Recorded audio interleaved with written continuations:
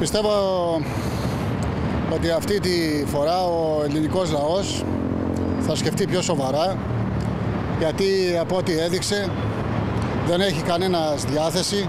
Νομίζω ότι δεν υπάρχει άλλη λύση. Ε, είναι, πάρα πολύ δύσκολο να κάνουν κυβέρνηση συνεργασίας αυτά τα κόμματα που έχουν τελείως διαφορετικά προγράμματα μεταξύ τους.